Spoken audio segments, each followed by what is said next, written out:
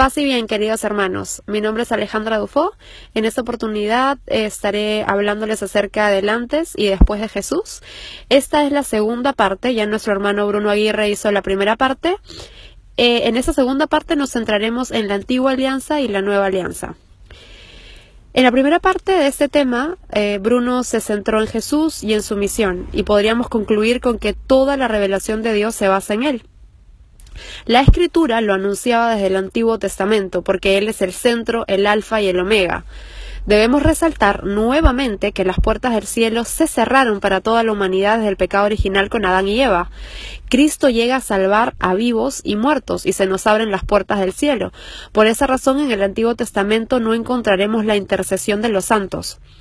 En el Nuevo Testamento, con la llegada del Hijo de Dios, tenemos la nueva alianza.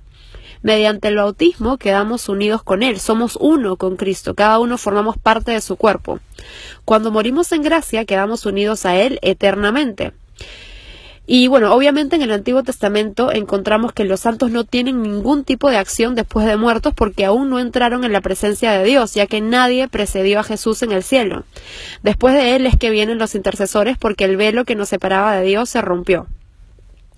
Eh, Dios se reveló a su pueblo y realizó dos alianzas. La primera alianza la encontramos en el Antiguo Testamento y fue aquella que Dios realizó con Abraham y Moisés.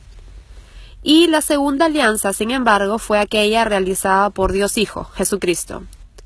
La realización de estas alianzas las podríamos comparar con las etapas de aprendizaje de una persona. De acuerdo a la edad y madurez, ella irá recibiendo conocimientos.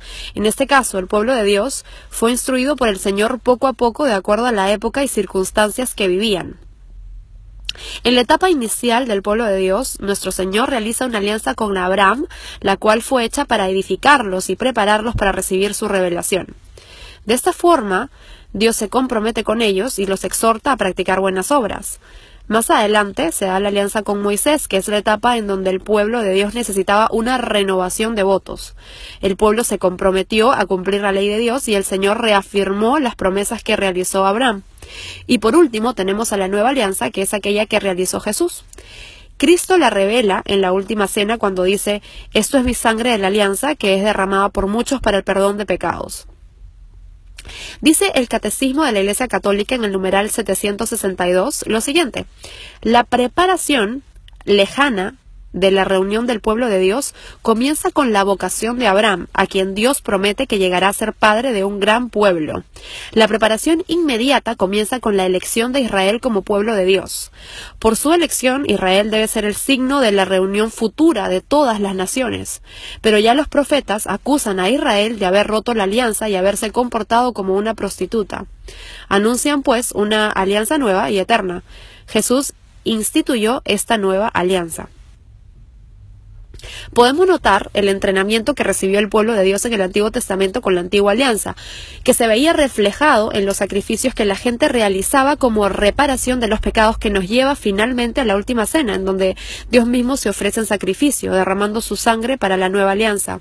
Este acto se lleva a cabo a través de su ofrecimiento por amor a la humanidad.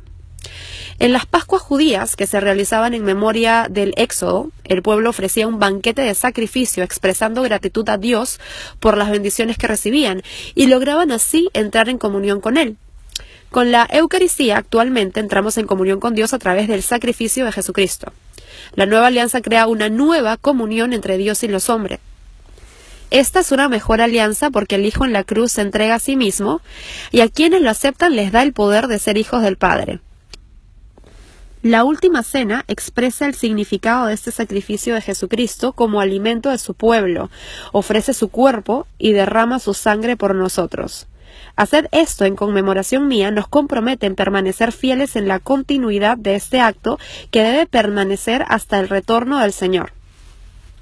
El Catecismo de la Iglesia Católica en el numeral 763 nos dice lo siguiente, corresponde al Hijo realizar el plan de salvación de su Padre en la plenitud de los tiempos. Ese es el motivo de su misión. El Señor Jesús comenzó su iglesia con el anuncio de la buena noticia, es decir, de la llegada del reino de Dios prometido desde hacía siglos en las Escrituras. Para cumplir la voluntad del Padre, Cristo inauguró el reino de los cielos en la tierra.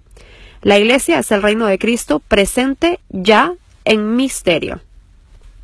Muchas gracias por permitirnos entrar en sus hogares. Dios los bendiga abundantemente.